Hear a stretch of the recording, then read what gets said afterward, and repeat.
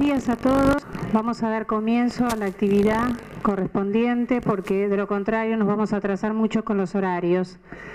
Les pediría si pueden hacer silencio, terminamos de instalarnos y empezamos.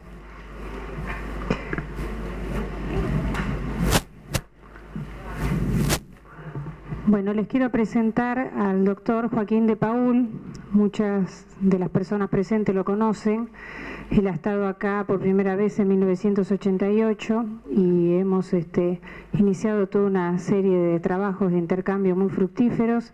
Le agradecemos nuevamente que esté acá y él nos va a hablar sobre el estado actual de la investigación en el tema.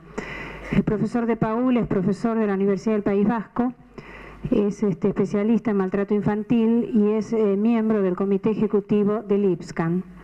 Bueno, los dejo con el profesor de Paul.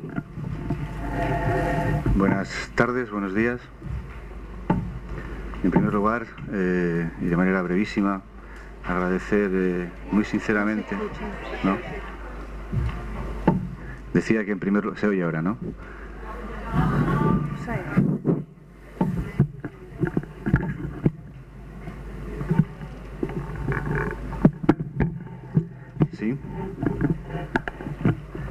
Decía que quería agradecer sinceramente, en primer lugar agradecer muy sinceramente, a, y no es una retórica, lo digo de, verdad, agradecer a los organizadores de este evento, de estas jornadas, a la Universidad de Buenos Aires y a la Fundación eh, Familia y Comunidad, el haberme invitado a participar en estas jornadas y el haber podido... Eh, ¿Más alto tengo que hablar? ¿Sí? Ah. Bien, repito que agradezco muy sinceramente a la Universidad de Buenos Aires y a la Fundación Familia y Comunidad por haberme invitado a estas jornadas y poder compartir con todos ustedes estos tres días de eh, trabajo. Además de eso, eh, quiero dejar claro que para mí es una situación eh, extraordinariamente gratificante el contemplar que se está produciendo en la Argentina este movimiento alrededor de eh, la temática del maltrato infantil. Tengo la impresión, y lo comentábamos hace poco rato con algunas personas que tienen responsabilidades en estas jornadas, que eh, a veces hay un antes y un después en cada país de algunos acontecimientos. Y tengo la sensación, por lo que uno va por diferentes países, de que aquí eh, este puede ser un momento a partir del cual las redes que se vayan creando o la dinámica que se vaya creando alrededor del tema puede fructificar en, proyectos interesantes y en actividades interesantes. Y eh, por otra parte, y acabo con esto para dar tiempo a lo que se trata, que es hablar de investigación, también felicitar por la organización de las jornadas.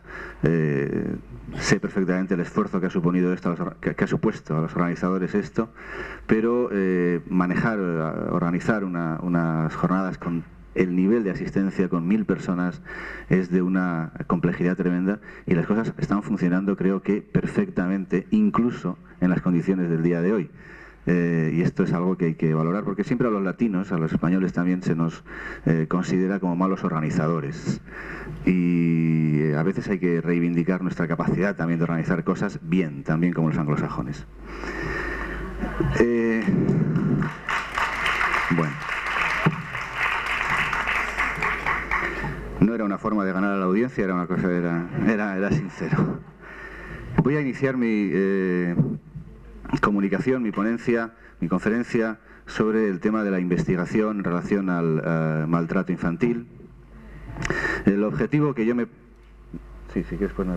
El objetivo que yo me he planteado a la hora de preparar este trabajo es el poder comunicar de la forma más eh, eh, accesible, accesible posible a la mayoría de los asistentes, el poder comunicar cuál es el estado actual de la cuestión, cuál es el estado actual del conocimiento, en relación a la problemática del maltrato infantil. Comentaba también antes que quizás este título podría haberse traducido con un subtítulo, podría haberse añadido un subtítulo que es eh, lo que sabemos, eh, qué es lo que creemos que sabemos sobre el maltrato infantil y qué es lo que no sabemos, dónde están todas nuestras lagunas de conocimiento en relación al maltrato infantil porque probablemente, como no podía ser de otra manera, sabemos mucho menos de lo que necesitamos saber. Y en eh, segundo lugar, mi objetivo era tratar de eh, convencer o de reivindicar la necesidad de seguir trabajando en la investigación, de potenciar la investigación sobre este tipo de problemas y de potenciar la comunicación de los resultados de la investigación a los profesionales que trabajan directamente, pero también de responder desde la investigación a las necesidades y las demandas de los profesionales. Esto que es algo que se dice siempre y que se dice en todos los temas, en este es uno de los, eh, eh, uno de los que debería, debiera ser probablemente prioritario. Es decir, la investigación no puede ir eh, apartada de la, de la práctica cotidiana y los investigadores y los universitarios tenemos la obligación, la obligación social de aportar nuestros conocimientos. A veces nos malentendemos los investigadores y los profesionales, pero creo que, esto eh, es una tarea de las dos partes. Bien, voy a empezar planteando algunas ideas eh, generales o algunas cuestiones generales para ir luego entrando a mm, aspectos más particulares. Algunas cuestiones generales que me apetecería comentar eh, despacio eh, son las siguientes. En principio, eh, yo quisiera resaltar que el tema del maltrato infantil es un tema de reciente investigación.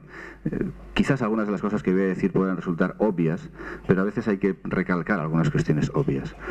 Es un tema de reciente investigación, eso significa exactamente que llevamos pocos años, lleva la comunidad internacional pocos años preocupada por la investigación sobre el maltrato infantil, no más de 20 años en el contexto internacional. Eso es poco, es poco porque a pesar de que se hayan estudiado otras cuestiones, otro tipo de cuestiones sobre eh, la violencia en términos generales, sobre la forma en la que cada sujeto eh, resuelve sus conflictos, las eh, cuestiones relativas a la interacción madre-niño o interacción familiar, la etiqueta de maltrato infantil es reciente y la investigación sobre el maltrato infantil es reciente. Eso, eh, para empezar, lo que significa que es lógico que sepamos poco. Y esto tiene una segunda, eh, una segunda lectura, que es la que eh, aparece en la, en la transparencia. Y esto me parece importante también resaltarlo. Hay un desajuste, creo que es necesario repasar la idea o, revisar eh, lo, que, lo que significa ese desajuste entre la urgencia que tienen eh, que tenemos o que tienen todos los profesionales por dar respuesta al problema del maltrato infantil. Cuando digo dar respuesta, quiero decir eh, corregir los problemas que en cada caso, en cada familia, desembocan en una situación de maltrato físico, de abandono físico, de abuso sexual. Eh, dar respuesta significa eh, garantizar las necesidades de los niños, tomar decisiones que puedan eh, ser las más adecuadas para cada caso. Esa urgencia es la urgencia con la que viven todos los profesionales el día a día, el día, la presión cotidiana por abordar de la forma más adecuada posible cada caso. Pero sin embargo, esa urgencia no está acompañada por un conocimiento adecuado del problema. Es decir, que eh, tenemos, y así hay que reconocerlo, un limitado conocimiento real del problema. Eh, y cuando digo un limitado conocimiento, quiero decir, no hay acumulada eh, información suficiente o conocimiento suficiente desde la investigación, desde la investigación básica y desde la investigación aplicada, que dé respuesta a esa necesidad urgente. Por tanto, en muchos otros ámbitos de la, de la, de la, de la atención a, los ciudadanos, sea incluso en el ámbito médico, eh, cuesta menos a veces reconocer que hasta la fecha, que en el momento determinado no sabemos cuál es la, eh, el agente infeccioso que provoca una enfermedad, o sabemos cuál es el agente infeccioso, pero no sabemos cómo tratarlo, y simplemente no lo sabemos.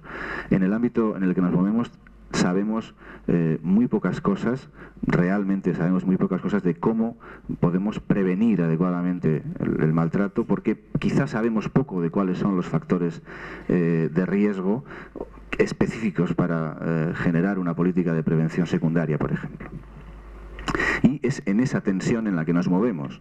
Los investigadores tenemos que trabajar con cierta lentitud, con cierta tranquilidad, tratando de ir aportando poco a poco conocimiento y sin embargo la demanda del profesional, la demanda de los profesionales es una demanda urgente. ¿Por qué? Porque el tema del maltrato infantil ha surgido, porque las, campañas de detección eh, generan una mayor eh, acumulación de casos y eh, ponen en entredicho la eficacia precisamente de esos problemas.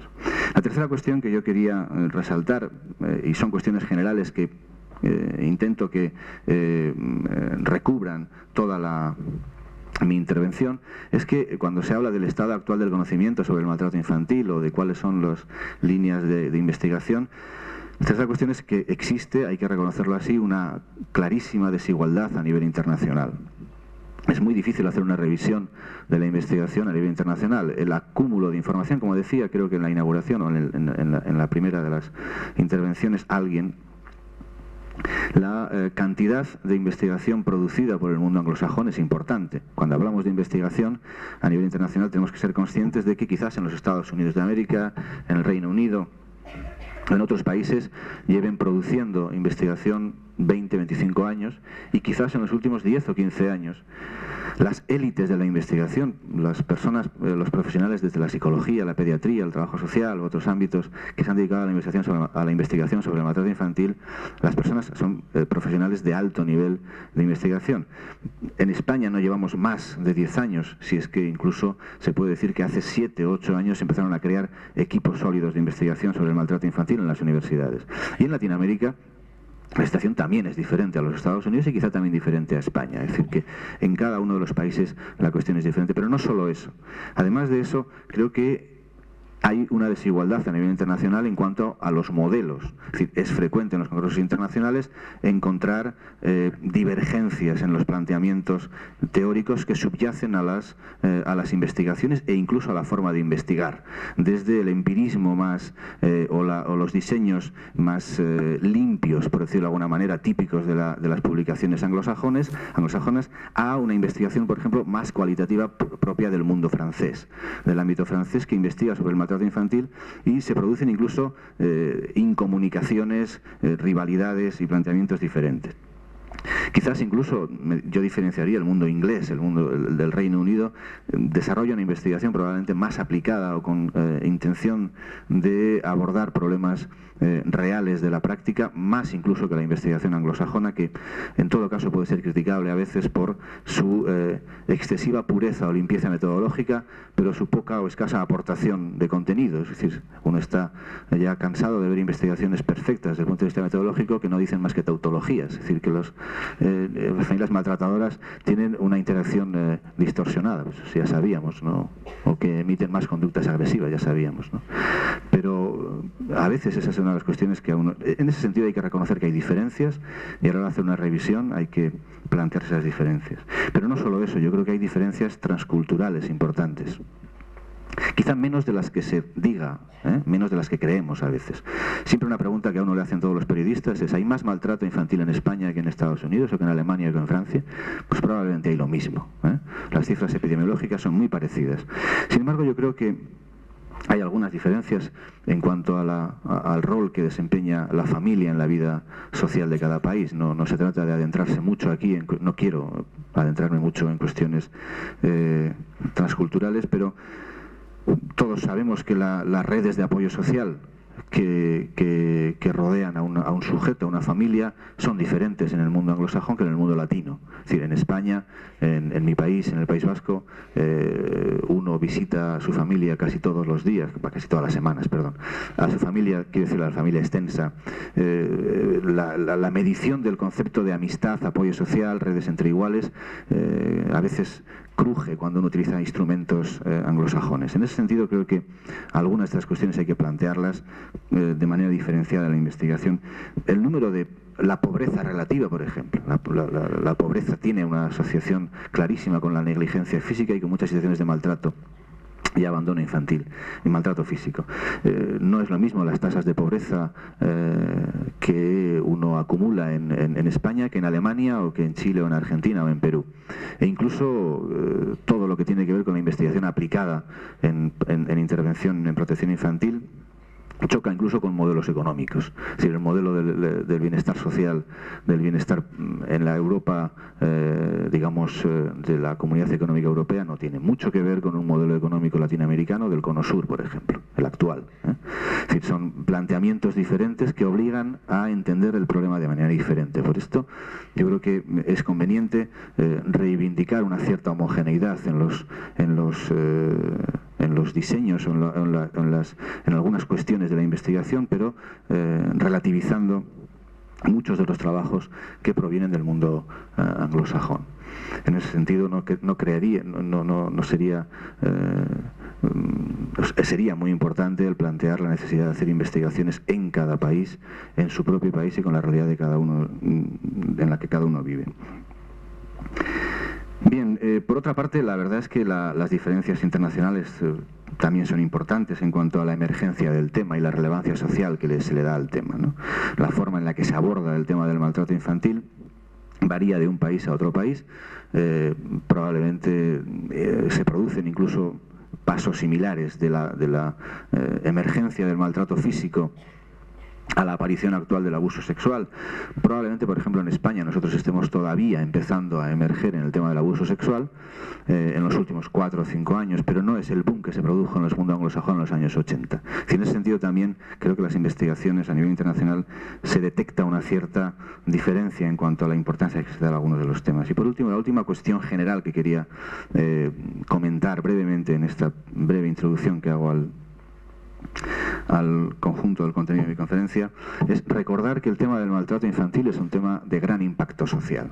Si las investigaciones, los investigadores no somos nunca eh, neutros, investiguemos lo que investiguemos, pero si investigamos sobre maltrato infantil tenemos que reconocer que, que tocamos un tema de fuerte impacto emocional y fuerte impacto social a ver si, lo consigo ejemplificar con tres o cuatro cuestiones.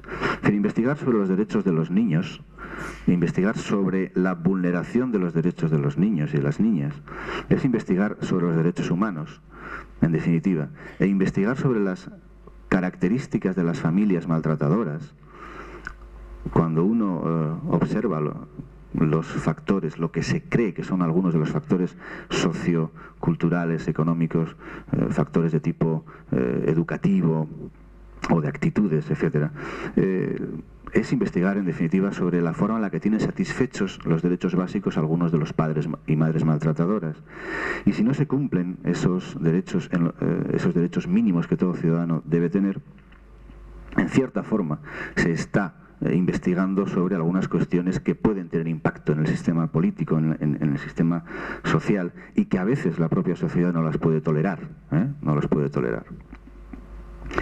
En ese sentido, a veces el investigador puede encontrarse con situaciones complicadas cuando eh, plantea datos epidemiológicos, datos de prevalencia del maltrato en cada país o incluso de las características sociales y económicas de cada país, porque necesariamente eh, se traducen en titulares de prensa, se traducen en titulares de revistas, en cuestiones con las que se puede y quizás a veces se deba eh, presionar eh, públicamente. Pero investigar, por ejemplo, la negligencia física implica necesariamente partir de una definición de lo que es negligencia física. Es el segundo ejemplo que yo pondría del impacto social que tiene. Si definimos negligencia física solo eh, o, focalizamos la, negligencia física en aquellos casos en los que los padres con medios económicos por alguna razón no satisfacen las necesidades de los niños, porque están deprimidos, porque son alcohólicos, por lo que sea, estamos responsabilizando a los padres, al padre o a la madre, de no cuidar adecuadamente a sus hijos. Pero cuando hablamos de negligencia física lo definimos como cualquier niño que no recibe las que, no, que no tiene satisfechas sus necesidades básicas, alimenticias, educativas y de salud, independientemente de quién sea el que, el que no lo cubra. Y en muchas situaciones es una negligencia física generada por una eh, imposibilidad de los padres de acceder a los recursos económicos, estamos provocando un, impacto social también importante y extraer esas cifras de negligencia física eh, significa, en cierta forma, hablar de una negligencia social de los niños. Por tanto, eh, hay que tener en cuenta siempre que cuando investigamos este tema, repito, no investigamos cuestiones eh, asépticas, igual que investigar el abuso sexual. Es decir, hacer investigaciones sobre abuso sexual la historia nos lo, ha demostrado, que investigar el abuso sexual eh, eh, supuso un impacto social importante, reconocer una realidad que nadie quería reconocer, que quizás, como decía alguien también ayer a la mañana, Freud eh, sacó a la luz en un, en un momento determinado, pero que poco a poco se fue retrotrayendo hacia otras cuestiones que no eh, dejaban encima de la mesa la evidencia de situaciones traumáticas. Está ocurriendo algo parecido en este momento en, los Estados Unidos. Está, con ese movimiento que no sé si eh, les suena, lo han denominado algo así como backlash, que es casi imposible de traducir a nuestro idioma, pero está produciendo un movimiento de eh, castigo o de, o de protesta ante los profesionales que ven abusos sexuales por todos los sitios, porque que es un invento de muchos profesionales y quizás haya menos abuso sexual del que se está diciendo, etcétera. Pero que ocurra esto también a finales, de un, a finales del siglo, a una vez le da que pensar, ¿no? Es decir, ¿qué está pasando? Eh, esto es algo que todavía no ha llegado a mi país. No, sé si llegará o no llegará, pero que empieza a ser un movimiento eh, que intenta eh, decir que es menos abuso sexual el que hay del que dicen que hay y que de alguna forma demuestra que la sociedad le sigue costando eh, reconocer que hay violencia en la familia, le sigue costando reconocer que hay abusos sexuales en la familia y que la, infancia no es ese, la infancia y la familia no es ese reducto de felicidad que, creíamos o, no, o nos habíamos pensado que existía. De cualquier forma, Investigar sobre el tema del maltrato infantil es investigar sobre cuestiones que impactan emocionalmente y sobre cuestiones que impactan socialmente y es un ámbito de trabajo desde el cual se pueden hacer eh, muchas cosas, algunas eh, quizás incluso es fácil que se pueda rayar en la demagogia con el maltrato infantil. Hay que tener cuidado cuando se investiga y se trabaja sobre el maltrato infantil de no superar los límites, eh, unos ciertos límites éticos, porque eh, si alguno quiere, si alguno quiere impactar socialmente y, con ese impacto social generar una cierta atención personal y ascender en en la carrera, también puede dedicarse a temas de este estilo porque se le escucha más fácil, se habla de esto que de algunas otras cuestiones menos eh, socialmente menos relevantes. Por tanto, esas son algunas cuestiones que yo quería ir tocando desde el principio, pero ahora voy a centrarme ya en, el tema que nos, que nos trae más directamente, que es lo que eh, se investiga, se sabe, no se sabe sobre el tema del maltrato infantil. Y voy a eh, ir hacia atrás, voy a poner una transparencia ahora, voy a poner Marinés una transparencia que a mí me daba un poco de vergüenza ponerla, ¿no? Pero a veces uno eh, tiene la necesidad de bajar a pensar a lo, básico, ¿no? Es decir, ¿qué es lo que necesitamos saber sobre el maltrato infantil? ¿Qué queremos saber? ¿Qué, nos hace falta saber para eh, poder eh, aportar nuestro conocimiento a los profesionales? Lo que necesitamos saber es todo aquello que nos permita a medio y largo plazo que no haya más casos nuevos de maltrato infantil. Estoy hablando de cuestiones utópicas, como entenderán, ¿no? Eh, pero necesitaremos saber algo que nos permita eh, evitar la aparición de situaciones nuevas de maltrato infantil, que no se produzcan las que se van a producir, las que sabemos que se van a producir dentro de tres meses, seis meses, un año, dos años queremos saber o necesitamos saber aquello que nos permita que los casos ya existentes desaparezcan o dejen de ser situaciones de maltrato. Es decir, queremos saber cosas que nos permitan abordar la intervención, hacer los diagnósticos, hacer las evaluaciones, tomar las decisiones y hacer las intervenciones que permitan que los padres maltratantes dejen de serlo, si es que eso puede ser posible en algunos casos. Y queremos que en el peor de los casos, eh, cuando las cosas no se pueden resolver o cuando ya han ocurrido, las consecuencias en los niños sean lo menos eh, severas posibles. Para, además de conocer eh, esto, eh, en definitiva de lo que estoy hablando, es de que necesitaremos saber cuáles son las características o los patrones, si es que hay algunos patrones de familias, de sujetos, de colectivos con más riesgo o menos riesgo de maltratar. Necesitamos saber cuáles son los indicadores que nos pueden permitir predecir las eh, situaciones de maltrato, es decir, detectar antes de que ocurra el maltrato, dónde están y quiénes son las personas que tienen más riesgo de cometerlo. Necesitamos, por tanto, tener información que eh, nos ayude en la intervención, pero también necesitamos saber realmente cuántos casos existen, cuántos, dónde están y cómo detectarlos. es una cuestión que eh, es eterna, el hablar de la prevalencia del maltrato. ¿Cuántos? 15%, 60%, ¿quién da más? 50%. Es decir, cuántos realmente son casos de maltrato y eh, verdaderamente son objeto de intervención en protección infantil. Y cómo detectar esos casos que requieren una intervención urgente, una intervención eh, eficaz. Porque se producen para curar y para prevenir, sé a lo que me refería antes, y cuáles son las consecuencias. Estas cuestiones son en las que tenemos que investigar. Pero hay una cuestión más que yo eh, la voy a dejar para el final, espero para la última media hora o los últimos 20 minutos de mi intervención, si es que no me alargo demasiado. son efectivas nuestras intervenciones.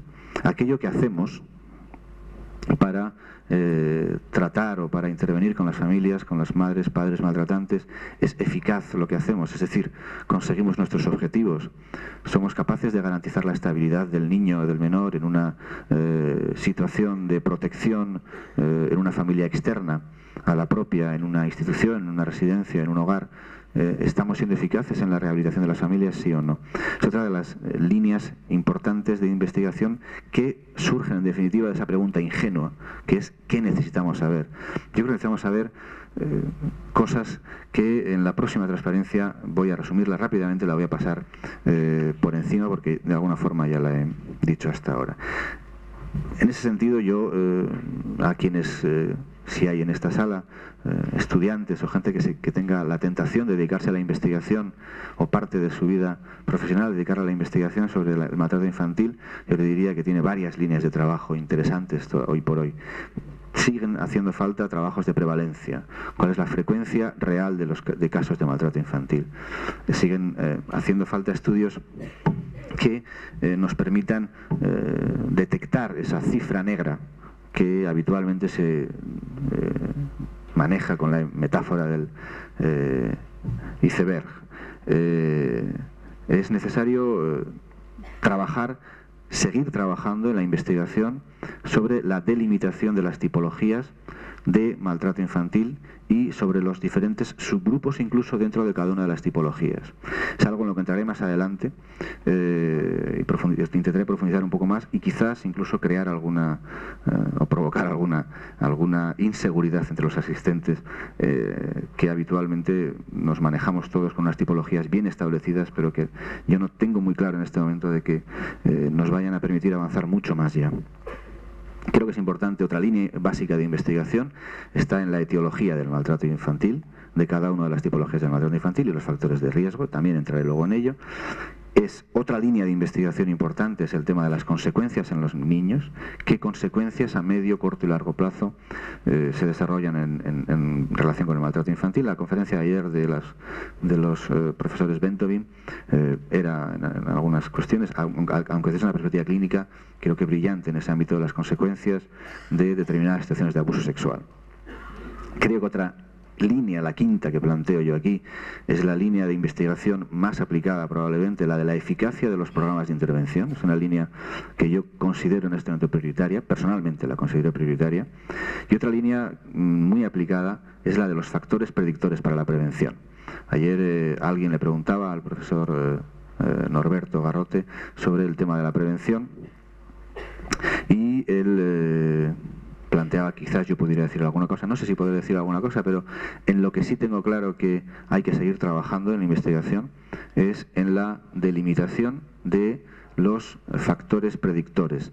Cuando digo predictores quiero decir lo que decía antes, aquellas características que nos pueden permitir seleccionar, detectar a eh, familias, a grupos, a personas que tienen riesgo de desarrollar conductas de maltrato, desarrollar conductas de negligencia o incluso riesgo de ser víctima de abuso sexual, ya no digo riesgo de ser abusador, porque esto es prácticamente imposible de, hoy por hoy imposible de afrontar, pero riesgo de ser víctima de abuso sexual y cuáles son esos factores predictores que nos pueden permitir saber quiénes son los sujetos más vulnerables a desarrollar problemas de maltrato. Es una línea de investigación hoy por hoy abierta, está casi a nivel cero y eh, es donde hay que, creo que hay que trabajar de manera importante. A continuación voy a tratar de plantear también de manera breve eh, algunos de los problemas metodológicos con que la mayoría de las líneas de investigación se enfrentan.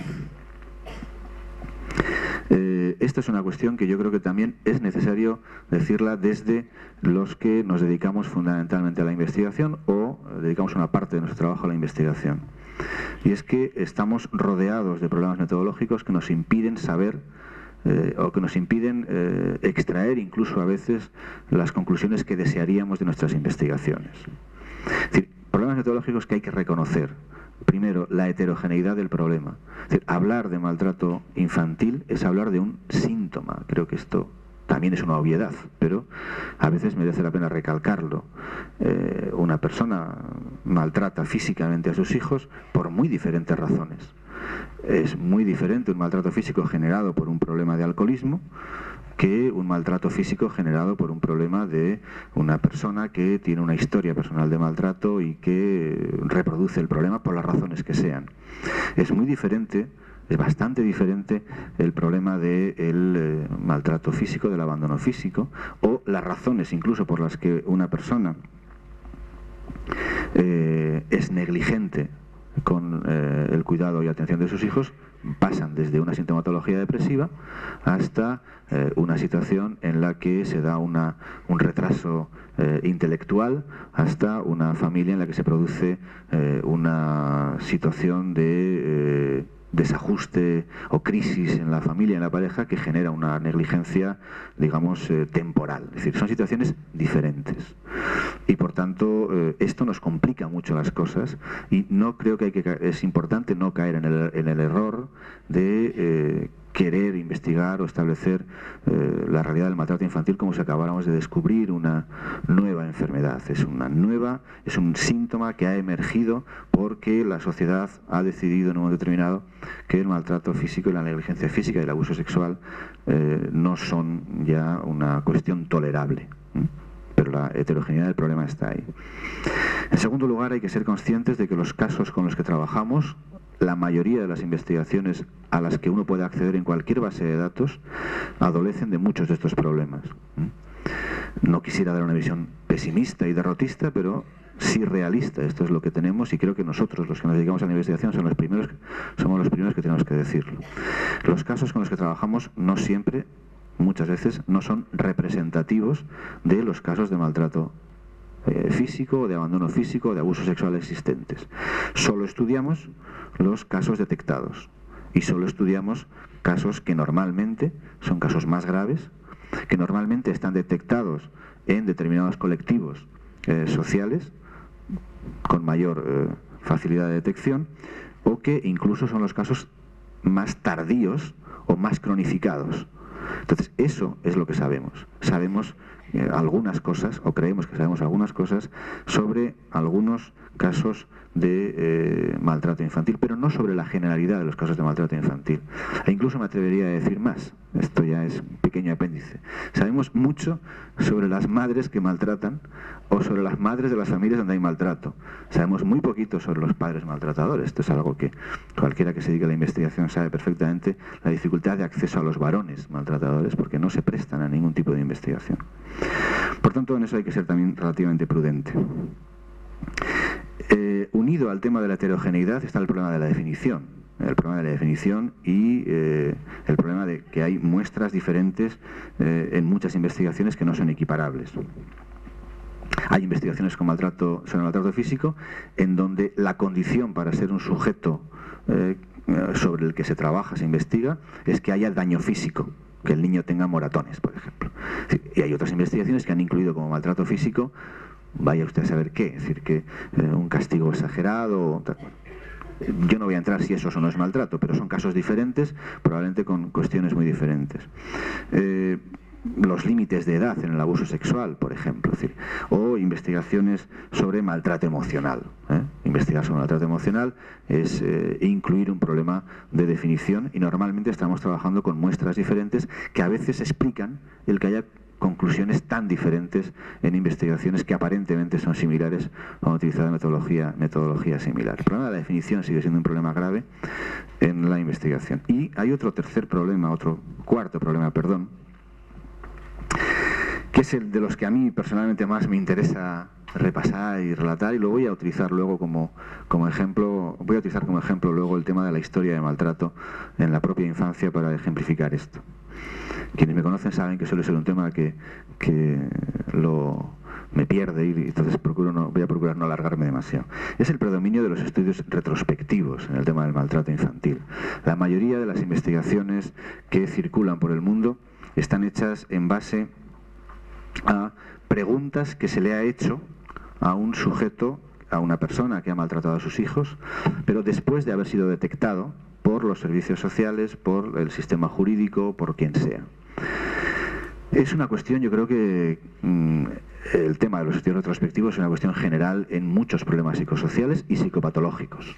En la psicopatología, la mayoría de la investigación en psicopatología se ha hecho en base a estudios retrospectivos y hay una tendencia, creo, Mm, esta es una cuestión que puede ser una opinión personal o subjetiva, pero creo que se tiende mucho a confundir las causas con las consecuencias.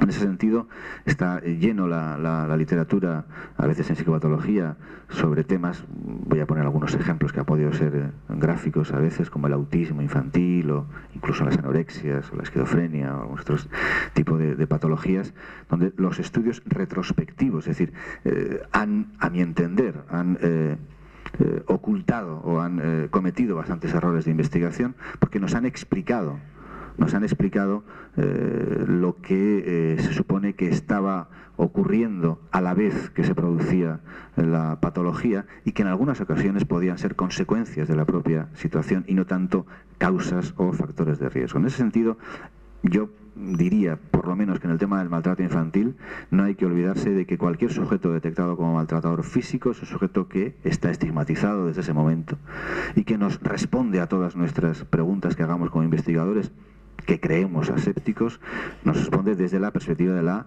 estigmatización, a veces va a adoptar una postura defensiva en el sentido de decir que está muy bien y que no le pasa nada y que él no tiene ningún problema porque por si acaso no vayan a, empapelarme más, a meterme en más problemas, o a veces puede justificar todo diciendo que su hijo era muy malo, que todo lo hacía muy mal, que él sufría mucho de pequeño, y estas cosas.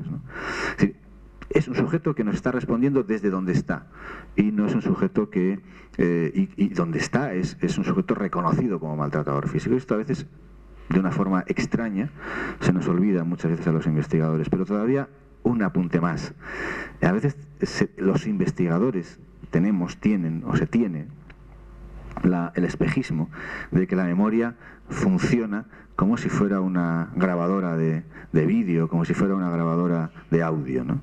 Es que a uno le cuentan una serie de cosas y piensa que eso realmente fue lo que ocurrió y extraemos una serie de conclusiones sobre lo que ocurrió, lo que pasó en la infancia del sujeto, o su red de apoyo social cuando era adolescente, o ese tipo de cosas. la memoria sabemos, creo que sabemos, espero que no se nos olvide, que es selectiva y que eh, olvida cosas y que selecciona algunas y que exagera algunas y que a veces uno confunde lo que oyó con lo que vio lo que le contaron cuando era pequeño con lo que realmente le pasó y que eh, en muchas ocasiones la memoria no es más que, muchas ocasiones no, yo creo que estaremos de acuerdo en que es una reconstrucción cargada de confabulaciones o de estrategias adaptativas o de supervivencia ante determinadas eh, cuestiones que han ocurrido en la vida de uno.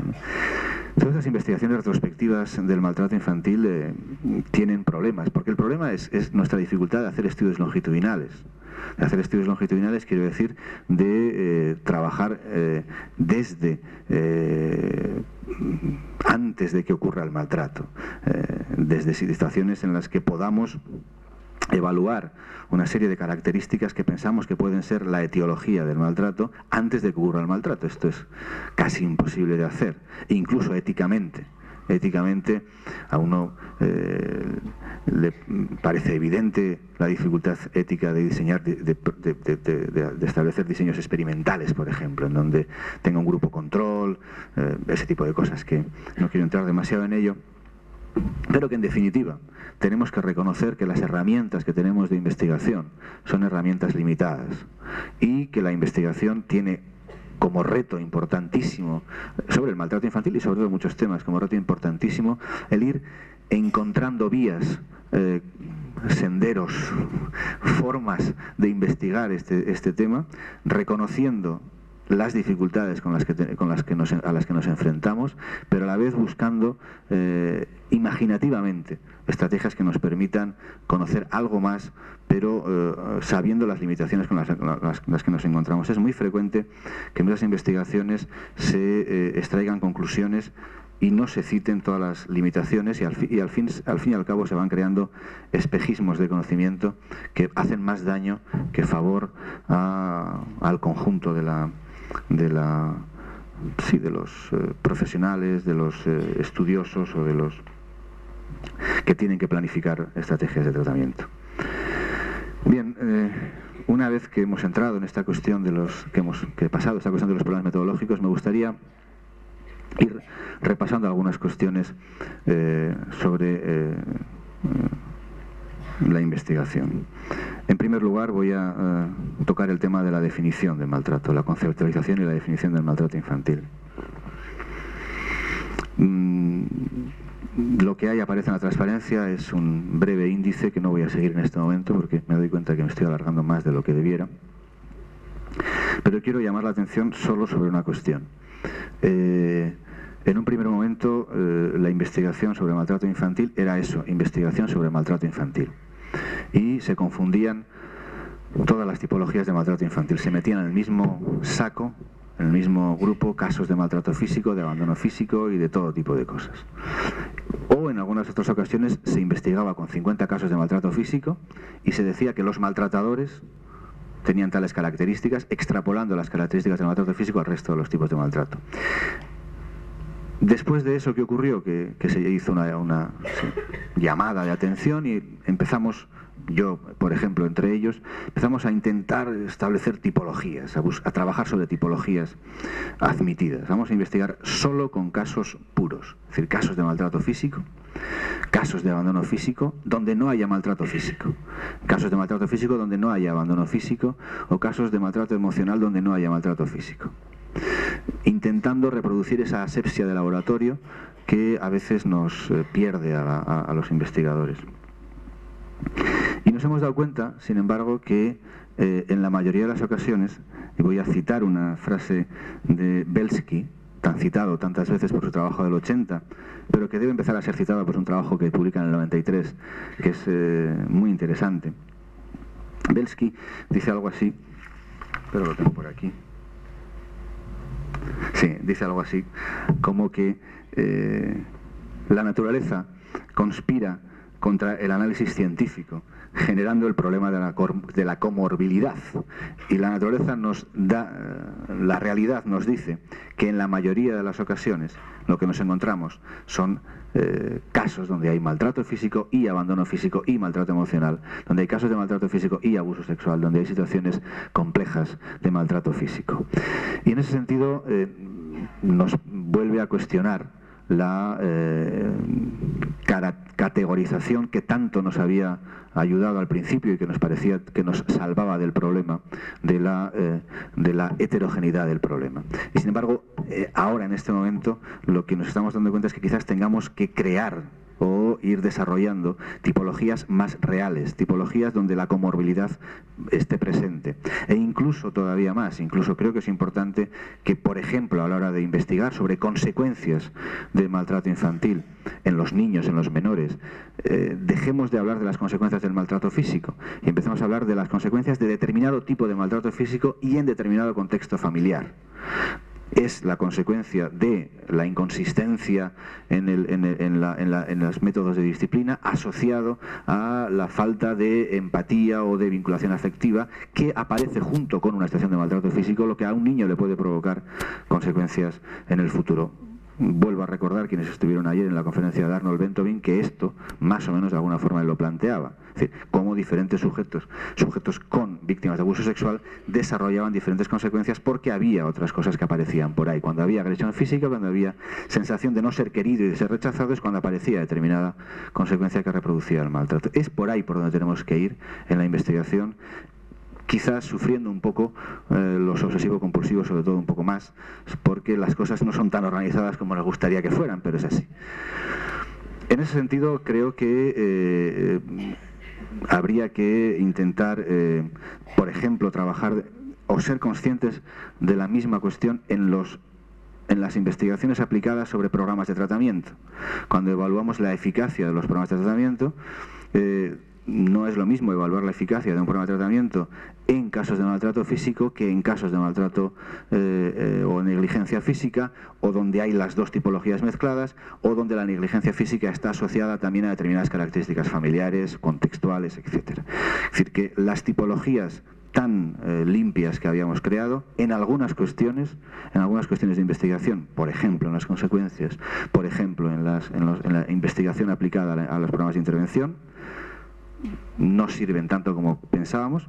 Si alguno quiere seguir investigando sobre eso y se quiere que siga, decir, yo lo que quiero decir es que a mí me da la impresión actualmente de que esto es uno de los retos que tenemos para el futuro, que hace las cosas un poquito más difíciles. Otra cuestión eh, que me importa resaltar, eh, ya dentro de una de las líneas de investigación que he planteado antes, que son todos los estudios de prevalencia es uno de los trabajos, una de las líneas de investigación que merece la pena seguir desarrollando. Todos los estudios de prevalencia de casos nuevos, eh, serían de incidencia, de lo que quiera uno, pero eh, cifras, números, datos estadísticos.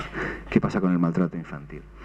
Yo creo que merece la pena diferenciar en esos trabajos eh, cuál es nuestro, nuestro objetivo y qué es lo que queremos o no queremos saber, pero por de pronto yo planteo el problema de trabajar con casos detectados por los servicios de protección, por los servicios los que sean, eh, dependiendo, del organismo que sean. Una cosa, es una cosa es hablar de las cifras de casos que están siendo atendidos por los servicios de infancia, atención a la infancia. Otra cosa, y esto sería eh, diferente o absolutamente diferente, a eh, hacer estudios de prevalencia sobre los casos que realmente existen. Para saber los casos que realmente existen en una situación en donde la detección es eh, siempre limitada, podemos, por ejemplo, plantearnos como metodología el acudir a los profesionales. Es una de las líneas de investigación o de, los tipos de, los métodos de investigación que se tiende a utilizar casos conocidos por profesionales en contacto con la infancia. Podemos acudir a los maestros, profesores, podemos acudir a los servicios sociales, podemos acudir a los pediatras para que nos digan qué casos eh, de maltrato infantil ellos conocen eh, que nos intenten y que nos intenten destapar esa cifra negra. Pero el problema con el que nos enfrentamos es, y yo creo que ayer alguien en una de las mesas sobre investigación hablaba del problema ético, alguien no, era una colega chilena que hablaba del problema ético de la investigación en maltrato infantil. Eh, decirle a un maestro que nos diga cuántos niños o cuántos de su clase cree que son víctimas de maltrato es en el fondo decirle que detecte casos de maltrato, que notifique, que denuncie, o tenemos que salvar la asepsia de la investigación y decir, usted dígame cuántos, no, no me diga quiénes. Si le preguntamos quiénes, no nos va a decir igual ninguno, porque no quiere denunciar. No, no, no está ahí para denunciar, ya denunciará en otro momento. Si le preguntamos cuántos, nos está diciendo que son cuatro, pero no nos dice quiénes. Y nos vamos de allí y los dejamos cada uno que opte lo que considere oportuno, para poder hacer estudios de prevalencia y destapar la cifra negra, igual nos hace falta preguntar cuántos y no, y no preguntar quiénes. Eh, habría que tener claro mm, para qué, por qué y cuál es el efecto de esa investigación, que en principio sería justificable solo en la medida en la que trate de, demostrar a la sociedad, a los poderes públicos, cuál es la cifra real de maltrato que tiene escondida debajo de la alfombra. Si para eso sirve, quizás merezca la pena el eh, salvar esta, este escollo ético. Otra de las líneas de investigación que se ha puesto en marcha, especialmente en el caso del abuso sexual, también en el maltrato físico, es tratar de saber cuántos casos tenemos a través de recuerdos de adultos, de lo que los adultos nos dicen que pasó en la infancia. Esto es muy frecuente en el abuso sexual. Bueno, muy frecuente no, absolutamente frecuente. La mayoría de las cifras que circulan por el mundo sobre la prevalencia del abuso sexual son cifras extraídas del recuerdo de los adultos. Y como decía antes, el recuerdo de los adultos es el recuerdo de los adultos, no es lo que ocurrió necesariamente. Puede haber quienes opinan que están sobredimensionadas esas cifras porque son más de las que realmente han sido, de las que la gente puede que se invente cosas, hay quienes dicen esto, o que son fantasía, o que no ocurrió de verdad, o puede eh, eh, considerarse que hay una infravaloración del problema porque también es absolutamente conocido por todos que hay un porcentaje de gente que tiene una amnesia por lo menos temporal, de situaciones de abuso sexual. En ese sentido, yo eh, apuntaría ya que estoy en el tema de la prevalencia de casos de abuso sexual, voy a hacer una pequeña eh, excursión, voy a salir fuera del tema, para plantear un tema que a mí me preocupa especialmente, que es la lectura de los datos de la investigación, la lectura de los datos de prevalencia, tanto en estas investigaciones, especialmente del abuso sexual.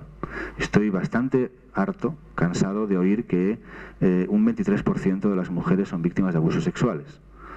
Y eh, estoy harto de, oír eh, eso entendido como que 23% de las mujeres son víctimas de incesto. o no sabemos muy bien de qué, abuso sexual. Cuando, digo esto, eh, estoy refiriendo a, situaciones absolutamente reales que pasan en todos los países del mundo. Eh, los datos de la investigación eh, están ahí, viven y adquieren vida y empiezan a, circular por la sociedad y salen en los periódicos. Y los datos de la investigación sobre el abuso sexual hay que ponerlos en su sitio y hay que darles una lectura real a esos datos. Es decir, cuando se investiga sobre, sobre abuso sexual y cuando se hacen datos de prevalencia sobre abuso sexual hay que diferenciar bien lo que es datos sobre incesto, datos sobre abuso sexual eh, realizado en el contexto eh, eh, familiar o de familia extensa, depende cómo definamos incesto o sexual intrafamiliar, de lo que es el abuso sexual extrafamiliar o de lo que es las cifras de mm, personas víctimas de una situación de exhibicionismo. Entonces no se puede mezclar en una misma cifra del 23% una persona que ha sufrido un acontecimiento de exhibicionismo con una persona que ha sido víctima durante siete años de abuso sexual por parte de su padre. Entonces esas cifras hay que leerlas bien y hay que darlas y cuidar mucho la salida al exterior de los datos de la investigación porque lo que provocan es una reacción, una reacción casi a veces histérica en la población pensando que estamos rodeados de abusadores sexuales por todos los sitios, de padres y madres que abusan de sus niños y que, no es así, que no es cierto, que es mucho más de lo que pensábamos, pero que puede equivocar a la población. En ese sentido yo haría una recomendación de que los datos de la investigación se traten con cuidado y si no, que no se traten hacen más daño que, beneficio en algunas ocasiones. Por último, yo quisiera mm, llamar un poco a veces la atención sobre la diferencia que debe haber entre lo que pueden ser, a mi entender, estudios sobre prácticas de crianza, estudios en los que se pregunta a los padres eh, sobre cuáles son sus métodos de disciplina y si pegan, no pegan, chillan, no chillan, y lo que son estudios de prevalencia del maltrato físico o del maltrato emocional. Porque a veces esas cifras de que el 70% de los padres maltratan a sus hijos son una barbaridad son una absoluta barbaridad que tienen que ser leídos como estudios sobre las prácticas de crianza. Da la impresión a veces de que estamos deseando de oír eh, que vivimos en una sociedad de homínidos o algo por el estilo, ¿no? Eh, que refuerzan o que dan un poco de, favorecen este deseo de morbo de oír cosas de este tipo. ¿no? yo he oído muchas veces estudios de prevalencia del maltrato que van desde, desde el, 15 por mil hasta los que van al 60% del maltrato físico. ¿no? Entonces hay que diferenciar bien lo que es un estudio de maltrato físico de lo que son estudios sobre las prácticas de crianza. No significa que sean prácticas de crianza adecuadas o inadecuadas, pero es diferente hablar del castigo físico, del uso del castigo físico, que hablar del maltrato físico. Y por último, el tema de los informes en los niños y en las niñas, que es otra cuestión, también otra, otra línea de trabajo de investigación que también tiene los mismos problemas que lo que decía antes. Una segunda línea importante de trabajo, una, tercera, he dicho, prevalencia, eh, definición, prevalencia, es la investigación etiológica. Voy a detenerme un poquito más en esta cuestión de la eh, investigación etiológica. Y eh, no prometo no hacer ningún repaso histórico eh, de los últimos 20 años, cómo ha evolucionado la investigación y los modelos famosos de Belsky, etcétera, porque todo el mundo lo conoce. Sí quiero decir, sin embargo, que hubo una época en los primeros años 70, en los 70 y 80, en la que casi todo se consideró como causa del maltrato. Es decir, la mayoría de las investigaciones mostraban, por no decir demostraban, eh, mostraban, señalaban que desde la pobreza, el bajo nivel educativo, la historia de maltrato, la depresión, el alcoholismo, etcétera, etcétera, etcétera, etcétera, casi todo era causa de maltrato. Aparecía una larguísima lista de factores de riesgo. Pero nos dimos cuenta, o se dieron cuenta los investigadores pronto, de que la mayoría de los sujetos con esas características no maltrataban. Es decir, la mayoría de la gente con problemas económicos no maltrata. La mayoría de la gente que tiene eh, dificultades de tipo eh, educativo, nivel educativo bajo, no maltrata. La mayoría de la gente, puntos suspensivos, no maltrata. La mayoría de los deprimidos no maltratan. La mayoría de las familias que se iban mal, la pareja no maltratan. Y a partir de ahí empezaron a surgir unos modelos organizativos, que son esos famosos modelos de Belsky o de Piketty o de Wolf, etc. Modelos organizativos que fueron, eh, digamos, estuvieron de moda en los años, a principios de los 80. Sobre esos modelos organizativos o integradores, eh, yo quiero decir solo dos cuestiones. Primero, que en realidad se ha hecho muy poquita investigación, verdadera investigación, apoyada en esos modelos en realidad se ha citado, o citamos yo el primero, no, no, no estoy hablando de los demás, hablo de mí también. Citamos el modelo eh, ecosistémico, citamos este tipo de modelos como modelos que sustentan igual nuestra investigación, pero realmente investigación basada en el modelo que realmente eh, trabaje con la interacción de variables hay muy poca, francamente muy poca, por tanto no están eh, demasiado puestos a prueba. Pero segundo, a mi entender y con todas las eh, eh, disculpas a quien considere lo contrario, creo que esos modelos que se llaman ecosistémicos, eh, hablo de los modelos que todo el mundo ha, conocido probablemente, tengo la impresión de que al final a mí personalmente me quedan como meras listas de componentes, como lo que pone ahí, entiendo que son modelos descriptivos que listan una serie de factores únicos y los organizan de una forma que puede resultar más o menos atractiva, pero que realmente y es mi opinión, no eh, van más allá de eh, esa ordenación, eh, de organización, que puede ser muy útil para muchas cosas, pero probablemente no creo que no nos permiten avanzar mucho o lo que yo desearía por lo menos tener conocimiento. Y en ese sentido yo creo que hacen falta, creo, y esta es la, postura que yo planteo, la cuestión que yo planteo, que hacen falta modelos explicativos más potentes, modelos explicativos, modelos teóricos más potentes, modelos teóricos que se pongan a prueba, es decir, no significa que, sean necesariamente verdaderos o útiles o no, pero modelos que entren a fondo en eh, una etiología eh, de casos que sirva para algún tipo de casos concretos. En ese sentido, yo ahí, en la transparencia, abajo del todo, he citado dos modelos que aparecen últimamente, desde el año, uno es del 93, otro es del 94, 94, 95, no recuerdo muy bien, que sin que yo defienda necesariamente esos modelos, me parece que son dos modelos teóricos que de alguna forma se arriesgan y se lanzan a eh, intentar generar investigación, eh, investigación eh, incluso básica o investigación empírica. Uno de ellos es el que desarrolló el profesor Milner hace ya unos años, el modelo del procesamiento de la información social. Él lo que hace es basarse en la teoría del procesamiento de la información para eh, intentar explicar la cuestión del maltrato infantil y otro es el modelo de Gilson y Kuiper que ah, se apoyan en el tema del estrés eh, y el apoyo social.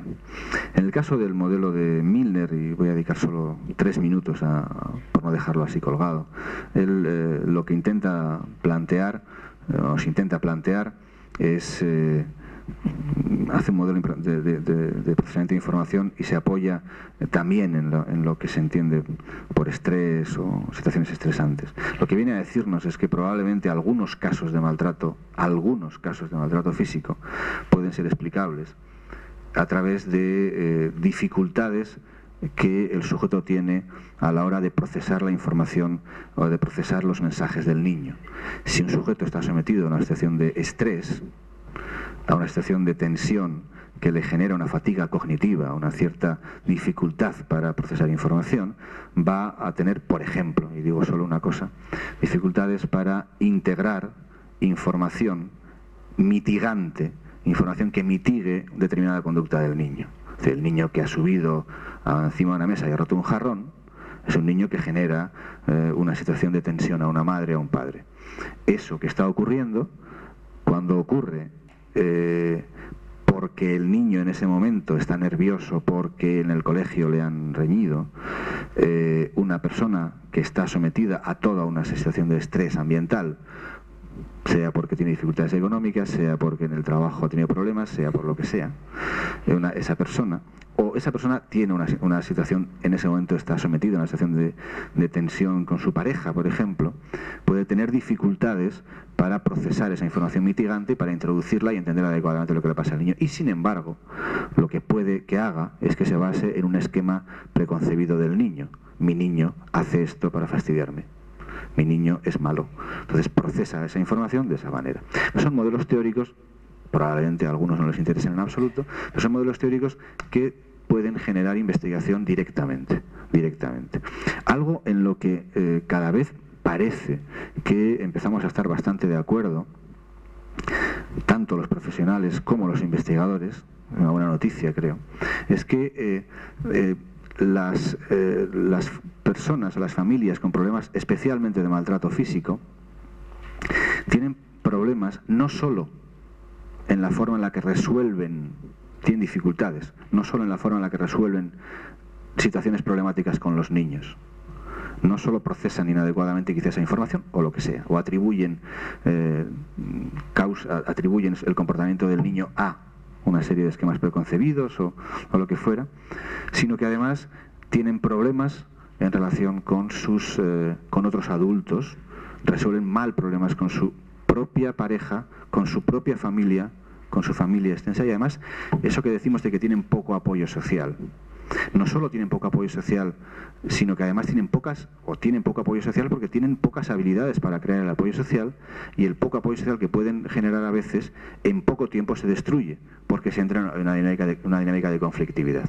Entonces tenemos la impresión, tengo yo la impresión o tienen la impresión y a mí me parece que es adecuada de que hay una dificultad general para resolver problemas, para eh, establecer una, una, estrategia de eh, resolución de problemas eh, de relaciones en general. Es decir, parece que, parece también por otra parte, que en, este, en esta misma línea de, este esquema de Milner, que son personas que sometidas a situaciones de tensión o de estrés, situaciones de tensión, eh, desarrollan una hiperactivación que, eh, o desarrollan una, forma de afrontar los problemas diferente a sujetos que no tienen esos problemas de maltrato.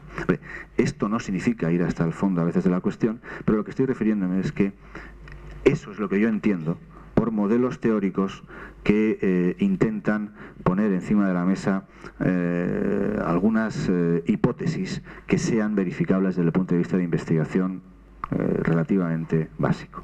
No me alargo más, es un ejemplo que digo porque es una idea general que yo quiero transmitir. Estamos en un momento en el que a mí me parece que los modelos organizativos y descriptivos están superados, deben estar superados, y creo que hay que empezar a entrar en modelos explicativos más potentes. En ese sentido, una de las variables que yo quisiera resaltar eh, es la variable, en el tema de la teología del maltrato físico, y yo creo que es una línea de investigación que puede dar mucho de sí. Y la verdad es que me alegré mucho que ayer eh, Arnold Bentomin y su esposa dijeran, eh, hablarían en cierta forma de esta cuestión. Se ha dicho muchísimo, lo pongo como ejemplo, se ha hablado muchísimo de la historia de maltrato en la infancia como factor casi determinante del maltrato eh, en, la, edad adulta. siempre se suele decir esto de que la transmisión intergeneracional del maltrato es una eh, cuestión eh, bueno, casi definitiva. Es uno, yo creo que es uno de los ejemplos de investigación, una de las líneas de investigación que a mí me parece que pueden ser más productivas. ¿Por qué lo digo? Pues porque nos hemos equivocado, porque creo que hay una equivocación no sé si, tanto como se dice o no, pero creo que hay una equivocación. Lo que ocurrió fue que los primeros diseños retrospectivos nos decían que prácticamente el 90% de todas las personas que estaban detectadas como maltratadores tenían historia de maltrato. Lo que ocurre es que nos dimos cuenta, o se dieron cuenta, nos dimos cuenta, se dieron cuenta y nos dimos cuenta los demás también, de que cuando seguíamos o evaluábamos a todas las personas que tenían historia de maltrato, la mayoría no maltrataban en la época adulta. Entonces eran dos visiones de una misma realidad que eran absolutamente contradictorias. De ese 90% bajábamos a un 18 o un 20%. Solo un 20% de las personas, que ya está bien, pero bueno, solo un 20% de las personas que maltrataban que habían sido maltratadas, perdón, en la infancia, reproducían la situación de maltrato. Y digo que esto es una cuestión que yo creo que primero ha eh, desmontado una, un mito, creo, del tema del maltrato infantil, hasta cierto punto, hasta cierto punto. Creo que hay, hay, algún error en la investigación interesante. Es decir, que eh, cuando decimos que solo es ese 18%, ese 15%, porque por ahí andan las cifras, 18% de gente que tiene historia de maltrato, que reproduce el maltrato cuando es adulto, a veces nos estamos fijando en estudios que dicen, ha tenido un hijo esta persona maltratada, tiene un año, dos años y no le maltrata y ya, luego ya no es maltratador. Bueno, igual le maltrata cuando tenga cinco años, seis, o igual al siguiente hijo se produce una situación de maltrato. Es, probable que, igual haya un error de investigación ahí. Pero, por tanto, esa es la cuestión que yo ponía en el segundo punto. ¿Cuándo se considera que no hay maltrato en un estudio longitudinal? Vamos a ir algo más allá algo más allá en este tema. En este tema lo que al final eh, lo, que se, lo que se produjo a partir de esos datos es vamos a tratar de saber, porque nos podría valer de mucho, creo que esto es una línea que puede ser muy importante en la investigación aplicada al, tratamiento y a, la, a, la, prevención, cuáles son las características eh, que hacen que un sujeto que haya sido víctima de maltrato en la infancia eh, no reproduzca el maltrato eh, y cuáles son las características que hacen que un sujeto que tiene una historia de maltrato en la infancia reproduzca esa situación de maltrato. Es decir, cuáles son los factores moderadores. Resulta que eh, se decide o se, analiza, se estudia en ese tipo de, situaciones y, se dice, bueno, pues resulta que estas personas tenían, tuvieron eh, una red de apoyo social adecuada cuando eran jóvenes o adolescentes, o que las personas con historia de maltrato que no reproducen el maltrato son personas que tuvieron o que han tenido una relación de pareja o se han eh, unido a una persona eh, en pareja que les ha sido una persona de apoyo, que les ha servido de soporte emocional, etcétera. O dicen que además las personas que tienen historia de maltrato y que no reproducen el maltrato por alguna razón eh, entraron en un proceso terapéutico que les ha permitido o resulta que son personas que tienen conciencia de haber sido maltratados, ¿no? A mí al principio cuando las leía decía, pues qué bien, ya vamos sabiendo cosas. Pero una vez que las voy leyendo más y más, digo, esto es una tautología. Esto es una tontería. Es decir, si a mí lo que me importa es por qué esa persona que tuvo historia de maltrato se juntó con una pareja que le, que le fue de apoyo. Porque eso no cae del cielo, ¿no? No cae como una, una cosa. Decir, ven, le ha caído una pareja adecuada, qué suerte ha tenido, ¿no? Eh, o por qué fue a terapia. O por qué conocía, o por qué tenía conciencia de que había sido maltratado, o por qué tuvo apoyo social en la adolescencia. Una red de apoyo social constructivo, ¿no?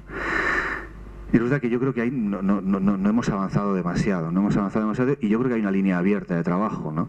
Yo ahí me he atrevido a, decir que quizás a mí me apetece personalmente eh, resaltar esa línea de trabajo, perdón por el anglicanismo ese que hay ahí abajo, el, el, inglés que hay ahí abajo, pero no sabía cómo ponerlo en castellano. Yo creo que hay algunas mm, perspectivas de poder trabajar en el tema de la memoria autobiográfica.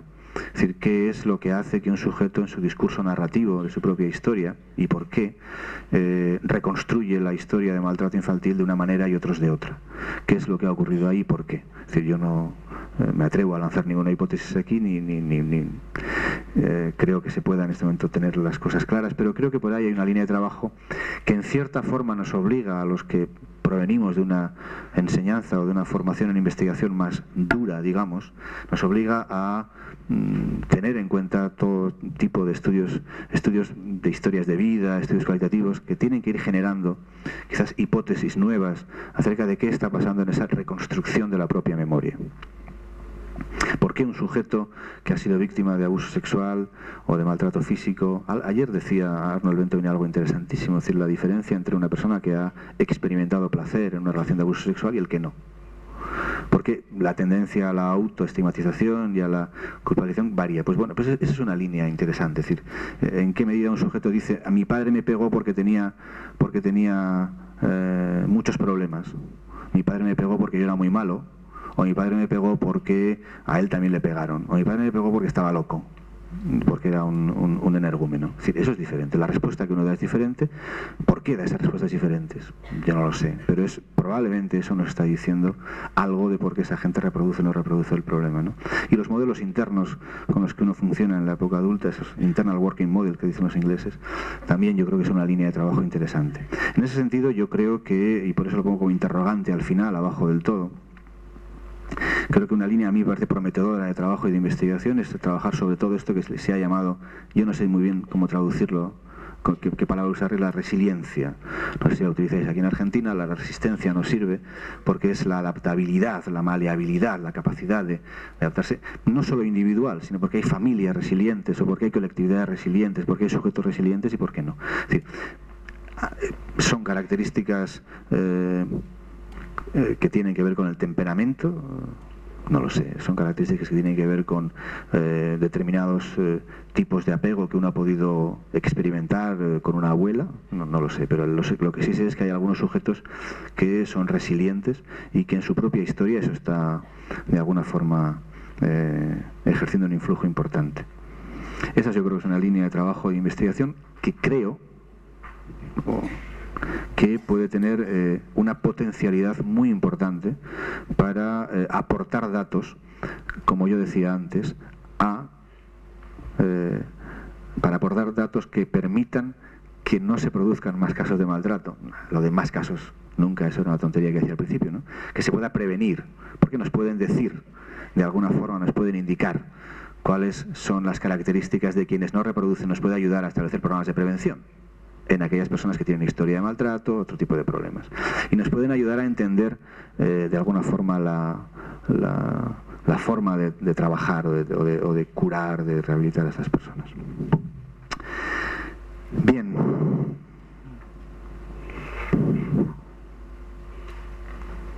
Tengo que tomar una decisión sobre qué es lo que no voy tocando, porque son las una y veinte pasadas y todavía me quedan bastantes cosas. En el tema del maltrato físico, voy a ir a lo que puede ser más provocativo y más duro, no lo sé. Uno ya es tiene espíritu guerrero, así que voy a provocar, voy a ir a tocar cosas que igual eh, despiertan antipatía incluso. Pero creo que hay algunas líneas de investigación en el maltrato físico. Voy a dejar los factores sociales, voy a dejar los factores demográficos que ya conocemos y voy a hablar algo de algunos modelos de, de, explicación del maltrato físico que se apoyan en factores de tipo biológico incluso, ¿no?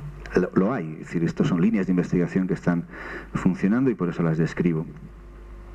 Hay quienes se plantean que puede haber algunas características individuales en los sujetos que desarrollan problemas de maltrato físico que tienen que ver con problemas de tipo neuropsicológico, es decir, déficits, problemas en el procesamiento verbal, falta de habilidad de, afrontamiento de los problemas, problemas de, flexibilidad cognitiva, etc. Es decir, en ese sentido hay una línea de trabajo y de investigación, que a mí no me parece desdeñable en absoluto, creo que hay que contemplarla como una línea interesante, que eh, intenta, eh, de alguna manera, intenta eh, entender que quizás en algunos, en algunos sujetos la descarga emocional que supone el, maltrato físico, que la, explosión emocional que supone el maltrato físico, el castigo, eh, digamos, eh, eh, extremo que supone el, castigo físico, tiene en parte una explicación en la dificultad que algunos sujetos tienen para procesar verbalmente, para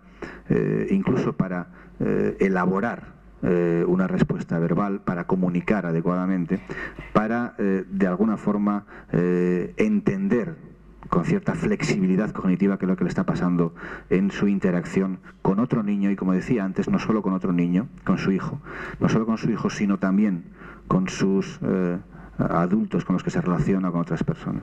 Repito, es una línea de investigación que suena uh, fuerte, que es eh, dura, pero que quizás algo nos pueda explicar en algunas ocasiones.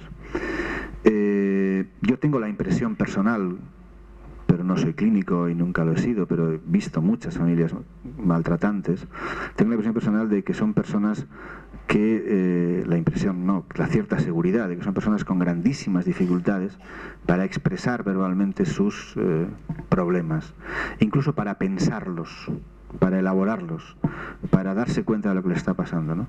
Y tengo la impresión de que tienen como una impresión muy física, que yo tengo a veces muy empática, como si tuvieran un nudo colocado por algún sitio que les impide eh, poder procesar adecuadamente lo que les está pasando y poder resolver esos conflictos cotidianos y diarios en la interacción con los demás. ¿no? A veces a mí me, he tenido algunas veces la tentación en ese sentido de recomendar a personas que hacen programas de tratamiento que antes lo oía en una conversación que tenía en el pasillo alguien, de, recomendar algunas terapias de tipo físico. Cuando digo físico quiero decir relajación, eh, eh, bioenergética, lo que uno quiera, pero que por algún lado fluya por el cuerpo algo, porque ya que verbalmente no lo pueden procesar y explicar, a ver si quizás se desbloquea toda esa tensión emocional, ese malestar contenido, esa rabia acumulada a través del cuerpo, porque verbalmente son personas muy limitadas, con muy pocas capacidades de, hacer insight o de entender lo que les está pasando. En ese sentido creo que es relativamente coherente. Eh, yo no sé si es una lesión de tipo neuropsicológico, ni en este momento me importa demasiado, pero sí que creo que hay un déficit cognitivo a veces para procesar adecuadamente a nivel verbal las cosas. Y si no hay procesamiento verbal, no hay comunicación, y si no hay comunicación, no hay forma de hablarle a un niño para que deje de hacer una cosa. Entonces no deja de hacer una cosa, uno se irrita, y por eso pongo lo que pongo después, es decir, la hiperreactividad psicofisiológica ante estímulos estresantes. En ese sentido, es algo que también puede considerarse como una posibilidad o una hipótesis a trabajar sobre ello. ¿no? Cabe la posibilidad de que determinados sujetos sea factible o sea productivo intentar abordar el problema desde esa hiperreactividad que tiene ante estímulos estresantes, no solo ante estímulos estresantes de niños que lloren o que o que estén haciendo un, comportamiento disruptivo, sino ante todo tipo de conflictos. ¿Por qué esa, hiperreactividad fisiológica? Yo no voy a entrar en ello, pero lo que sí me interesa saber es que me interesa por lo plantear es que eh, podía ser una cuestión que eh, se, fuera de aplicación en la, en la práctica cotidiana. Bien, eh, voy a dejar un poco de lado esta, esta línea en la que estaba. No, no ponga la siguiente porque era seguir un poco sobre diferentes líneas de investigación en el ámbito del, maltrato eh, infantil y del abuso sexual. En el caso del abuso sexual, si me pones una caída de abuso sexual sobre cuestiones de definición y de tipologías, yo solo en dos o tres minutos una pequeña llamada de atención a muchas investigaciones sobre abuso sexual en donde creo que hay un problema de definición. Lo he dicho antes, incluso en, los trabajos sobre prevalencia, creo que se mezclan mucho en, la investigación que uno lee en las revistas especializadas sobre abuso sexual, hay muchas eh, cosas mezcladas. Hay casos de abuso sexual mm, donde la diferencia de edad entre el abusador y el, abusado varía muchísimo. Eh, hay situaciones de abuso sexual con y sin contacto físico, con o sin violencia física, abuso situacional o abuso crónico, situaciones en las que hay una relación de, incestuosa o de abuso sexual que dura años, a una situación que ha durado tres meses, una situación de abuso sexual heterosexual, homosexual. esto, esto es importante que, en el futuro, en la investigación hacia el futuro, que ya se tiende a hacer en la actualidad también, pero intentemos, digamos, eh, diferenciar algunas cuestiones. No, no, no puede ser la misma, la misma eh, investigación, no puede hablarse de la misma etiología en diferentes situaciones de abuso sexual y esto, algo que los clínicos probablemente lo saben perfectamente, en la investigación a veces se olvida de manera extraña. De la misma manera que la tipología eh, intrafamiliar, extrafamiliar no tiene nada que ver. Un abusador sexual eh, digamos, de fuera de la familia, el amigo del padre, puede tener características muy diferentes a un abuso sexual generado por el padre o... En ese sentido, en el tema del abuso sexual, yo voy a, resumir algunas cuestiones, no todo lo que tenía lo puedo decir, preparado lo puedo decir, pero quiero plantear tres cosas, creo que son tres exactamente. Primera línea de investigación muy importante ahora de trabajo es eh, todo lo que tiene que ver con ofensores sexuales adolescentes no solo en el tema de tratamiento, sino en la investigación, qué es lo que ocurre con los adolescentes que empiezan a comportarse de manera sexualmente abusiva con pequeños. En este sentido, parece que está claro que una parte importante de los sujetos que han eh, cometido abuso sexual de adultos, sobre todo de tipo extrafamiliar, son personas que ya en la adolescencia cometieron algún acto de abuso sexual o por lo menos eh, tenían alguna fantasía sexual o intentaron desarrollar alguna conducta sexual en la adolescencia. El trabajar en investigación sobre estos adolescentes nos puede permitir establecer estrategias de prevención. Una segunda línea de trabajo de investigación en el abuso sexual, que yo creo que es importante,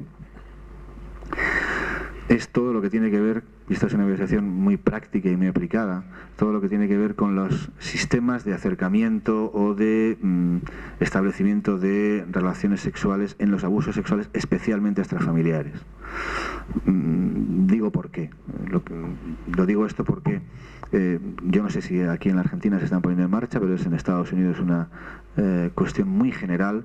En Francia ocurre, en España está empezando a hacerse, con mi opinión contraria, por cierto, ya lo digo de antemano, programas de prevención del abuso sexual eh, dirigidos a los niños en la escuela, ¿no? es decir, a contarles que eh, puede existir el abuso sexual, diferenciar los toques buenos, toques malos, este tipo de cosas. Cuando digo en contra de mi opinión, lo digo no porque considere que estos programas son necesariamente peligrosos, hacerlos mal son muy peligrosos, creo que va a ser muy peligroso, pero todo lo que se hace mal puede ser muy peligroso. Pero creo que no se puede, creo, que no se puede poner en marcha un programa de prevención del abuso sexual que tiene como consecuencia directa el aumento de la detección de casos de abuso sexual existentes sin tener un recurso para afrontar adecuadamente esos casos. Entonces queda muy bonito desde el punto de vista público el decir que uno va a hacer un programa de prevención del abuso sexual, pero luego tiene que contar con que muchas niñas víctimas de abuso sexual van a eh, señalar el, el abuso sexual por primera vez y en mi país en este momento no creo que hay suficientes recursos de afrontamiento del abuso sexual. Por tanto, estas cosas a veces es mejor no hacer nada que hacerlo mal a veces no, muchas veces. Por eso decía que estaba en contra. Pero bueno, si se hacen de todas formas programas de prevención del abuso sexual que enseñan a los niños algunas cuestiones de qué es lo que les puede ocurrir cuando llegue un adulto e intente eh, establecer una relación que va a ser una relación de abuso sexual, como mínimo creo que tenemos que tener, y hay muy, poquita investigación en el mundo, investigación seria sobre cuáles son realmente las formas de acercamiento eh, abusivas de los adultos, cuáles son, qué tipo de, estrategias utilizan, porque son, sería en todo caso sobre esas estrategias que habría que establecer el contenido de los programas de prevención. Y por último, creo que una línea de investigación, por último en el tema del abuso sexual, una línea de investigación importante que yo creo que hay que seguir desarrollando, además de otras muchas, ¿eh? pero una que a mí me parece importante, es toda investigación que vaya dirigida a mejorar los sistemas de, eh, a mejorar todos los sistemas de validación, no sé cómo decirlo, eh, que se entienda, todos los sistemas de eh, confirmación de la situación de abuso sexual. Cuando a una niña o un niño se le entrevista y tiene 6 años o tiene 8 años o tiene 12 años o tiene 14 años, se le entrevista, como decía ayer uno de los conferenciantes, solo y cuando solo el testimonio de la víctima es la única, cuando únicamente el testimonio de la víctima es lo que va a servir como prueba pericial, eh, creo que necesitamos saber más eh, sobre la, incluso sobre la forma en la que esas entrevistas eh, deben ser hechas a determinadas, a diferentes edades, a diferentes, en diferentes periodos evolutivos, en personas eh, que, están, eh, que han sido recientemente víctimas de una situación traumática y que eh, responden de manera diferente a diferentes preguntas y la forma de preguntarlo. En ese sentido creo que los mm, peritajes forenses, los forenses o los profesionales que hagan esto están por mucha experiencia que puedan tener, necesitados de más conocimientos sobre este tipo de cuestiones. Creo que es una línea de investigación importante.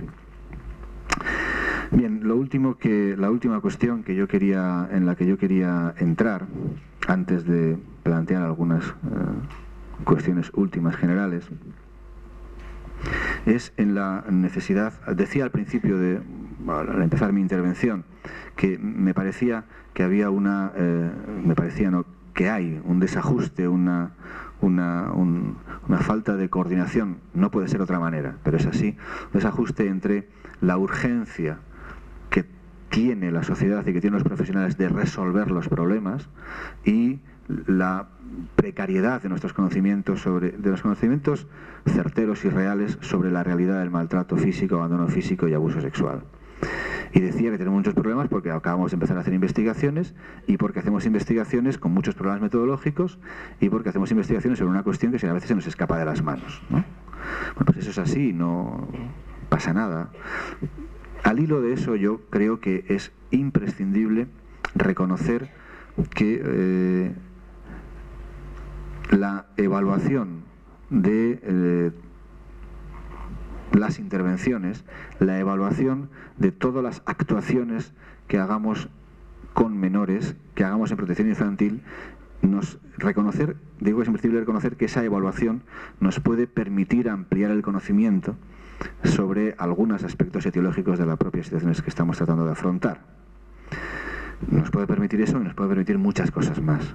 Pero yo creo que eh, en este momento yo lanzaría una, una, idea que probablemente para algunos les parezca evidente, para otros menos y para otros no tanto. Pero a mí me parece que es una cuestión importante y por eso la digo.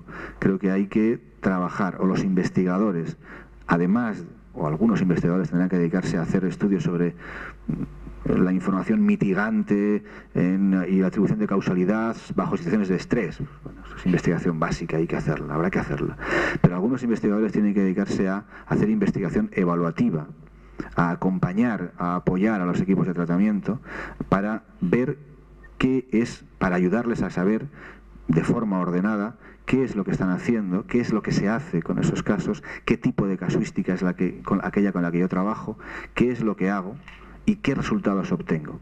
Porque, primero, desde el punto de vista del conocimiento, eso genera conocimiento.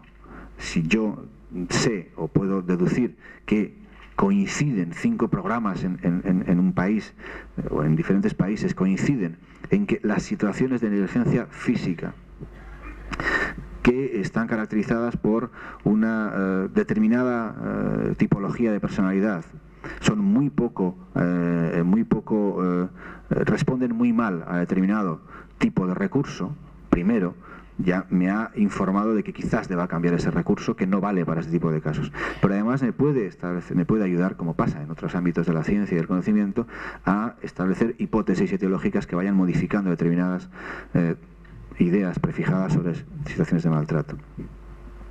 En ese sentido, la investigación evaluativa, la investigación sobre la evaluación. En este caso concreto me estoy refiriendo a la evaluación sobre aquellos programas que estén trabajando con padres o madres que han sido agentes de maltrato físico, de abandono físico, de abuso sexual. La investigación de el proceso de las actividades llevadas a cabo con esas personas o familias y la investigación y la evaluación perdón, de los resultados obtenidos, el cruce de ambas características junto con las eh, eh, diferentes eh, tipologías o diferentes factores asociados al problema, si sabemos qué es lo que entra al programa, qué es lo que hacemos y qué es lo que conseguimos, ese tipo de investigación yo creo que es imprescindible poner en marcha por esas dos razones. Porque nos puede permitir ir mejorando sistemáticamente la eficacia de nuestros programas, porque nos puede permitir aumentar el conocimiento que tenemos de una realidad que todavía no, la, no somos capaces de afrontar como desearíamos. Y además, y además, y quizá lo más importante, porque nos va a permitir, quizás vaya a permitir que los propios profesionales que están trabajando en este ámbito, que a veces tienen tanta eh, sensación de ineficacia, de que no se consiguen cosas, puedan eh, tener una visión realista de lo que realmente se consigue, de lo que no se consigue y de por qué quizás no se consiguen las cosas. Y esto puede ayudar a mejorar la forma de trabajo de los profesionales. Eh, por otra parte, creo que es importante, y esto es una línea de investigación también absolutamente diferente a todo el terreno que me he movido hasta ahora, creo que es importante que desde la perspectiva global del sistema de protección infantil seamos capaces de investigar y en ese sentido es el gran reto para los investigadores eh, universitarios o no universitarios, el gran reto es ir allí a donde están los profesionales e investigar cosas que sean realmente mm, eficaces para mañana o para pasado para dentro de, seis meses. Y es investigar todos los errores todos los eh, errores y todos los aciertos que se producen en el sistema de protección infantil en la toma de decisión. Me estoy refiriendo en concreto a que en muchas ocasiones, eh, después de una investigación del caso, que digo, de una, de una validación de la situación de maltrato y después de una evaluación diagnóstica del caso, estamos obligados a tomar una decisión. El profesional tiene que tomar una decisión, es decir, dejo al niño en su casa, lo llevo a un acogimiento familiar, o como le llaméis, le llevo a una institución, intento trabajar con los padres, dejándolo en casa, o no dejándolo en casa, sacándolo. Decir, hay, es un, hay, una, hay un punto clave que es la toma de decisiones, una especie de cuello de botella en donde se producen las situaciones más conflictivas para los profesionales, más angustiantes en esa toma de decisión. Creo que hay, en todo ese proceso tenemos que colaborar los investigadores y los profesionales tratando de tener un registro acumulado de todo lo que vamos haciendo y viendo qué tomas de decisiones fueron equivocadas y por qué, qué recursos se pusieron en marcha y no eran adecuados, en qué casos nos hemos equivocado en el acogimiento familiar y ha habido una vuelta del niño a, un fracaso del acogimiento familiar, o el niño se ha quedado en casa y ha sufrido un maltrato gravísimo al cabo de tres meses y nos equivocamos rotundamente en la toma de decisión. Es decir, que investigaciones que incluso lleguen a decirnos cuáles son algunos criterios que nos permiten predecir la recidiva en el maltrato, que nos permite predecir, predecir la gravedad de esa recidiva, que nos permiten predecir el pronóstico de un caso. A veces hay situaciones en las que uno dice un caso de alcoholismo no tiene arreglo. Pues hay situaciones de alcoholismo que funcionan muy bien, que tienen un pronóstico muy positivo. Y uno pensaba que iba a ser un desastre absoluto. Entonces, eh, monitorizar eso, observar eso desde una investigación totalmente volcada a, eh, la, a, la, implicación con los profesionales. Y aquí, más allá de metodologías rigurosas, yo estoy, en este entorno me estoy moviendo en la rigurosidad mínima exigible, pero que permita agilidad en ese trabajo. Esto es algo que tenemos la obligación de seguir haciendo. Yo no creo que haya que olvidarse de la investigación básica. He dado importancia y he dicho, he tocado cuestiones y no he entrado todavía en algunas otras porque no me da tiempo, bueno, que ya rayan a veces la investigación de laboratorio. Esto yo no creo que haya que dejarlo hay que seguir haciéndolo y hay que ser crítico con eso en la investigación, porque eso tiene que aportar conocimiento y algún día nos valdrá. Pero además hay una línea de investigación que es en la que yo en este momento personalmente me manejo con mayor, no sé si mejor, pero con mayor interés personal, me gusta mucho más, que es la línea de investigación que está permanentemente en la cuerda floja metodológica porque hay que salvar eh, eh, cuestiones de diseño que no funcionan muy bien, pero en donde eh, la, el apoyo que puede darse a la, el apoyo que puede conseguirse, que los profesionales pueden, pueden percibir y la mejora que en el trabajo cotidiano se puede conseguir, creo que es importante. Bien, por último, yo creo que no, no cuadraría que dijera lo que tenía preparado aquí, porque ido hacia un muy aplicado quería simplemente resaltar algunas cosas que quizás pillan ahora un poco fuera, pero en todo caso diría que, sabemos muy poquito sobre, tenía preparado una cuestión, como eh, le decía a alguien ayer que tenía preparado una pequeña eh, un pequeño juego, porque, pero las he dejado las transparencias aquí, tiene unas transparencias sobre la negligencia física estas transferencias que he puesto aquí son nuevas, las preparé hace una semana para, este curso. Pero yo tengo muchísimas transparencias guardadas de cosas que voy eh, organizando. Pues las transparencias sobre la negligencia física son las mismas que, que tenían en el 87. No he conseguido, no, no, no, no he conseguido poner más, eh, saber más cosas, estudiar más cosas sobre, la negligencia física. Esto, y tenía pensado ponerlas, porque están ya como muy viejas y se notan que están viejas. ¿Qué significa esto? Significa que se ha pegado un salto de la investigación del maltrato físico a la investigación sobre el abuso sexual y nos hemos olvidado de la negligencia física. Es decir, es algo que decía eh, una mm, investigadora hace ya 12 años. Decía, que estábamos ante el abandono del abandono o el olvido del abandono. ¿no? Seguimos totalmente olvidados con el abandono. Y no sé qué será aquí, pero en mi país el 50% de los casos que llegan a protección infantil son casos de negligencia física, aunque estén asociados a otras tipologías, lo fundamental es la negligencia física, la falta de cuidados eh, alimenticios, sanitarios, etcétera, etcétera. Es decir, y no hay investigación nueva, se sabe muy poco sobre, sobre los casos de negligencia física. Se sigue investigando sobre maltrato físico y sobre abuso sexual. Por algo será, cada uno que interprete como considere oportuno esto, pero los investigadores y la sociedad se preocupa poco de la negligencia. Igual es porque no queremos tocarlo, porque toca, como decía antes, la negligencia social, ¿eh? el abandono de los niños que no comen.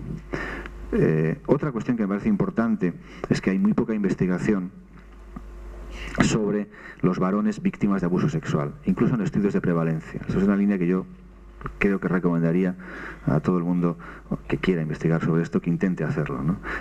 Parece que es otro de los mitos, porque los últimos datos van diciéndonos que había más de los que pensábamos. Siempre se decía que varones abusados sexualmente había muy poquitos, cada vez hay más. Hay muy poca investigación sobre varones víctimas de abuso sexual y hay poca investigación sobre madres o mujeres con perpetradoras de abuso sexual. Hay muy poquita cosa. Es cierto que es una minoría, pero quizás sea menos minoría de la que pensábamos. Hay también muy poca investigación sobre eso. En ese sentido, de todas maneras, eh, eh, creo que el terreno de investigación, si aquí en esta sala hay eh, universitarios o gente que quiera dedicarse a la investigación, aunque no esté en la universidad, yo creo que el último mensaje que yo daría es que el terreno es extraordinariamente abierto, hay muchísimas posibilidades de trabajo, muchísimas posibilidades de investigación, algunas más básicas, otras menos básicas, otras más aplicadas, otras más bonitas o menos bonitas.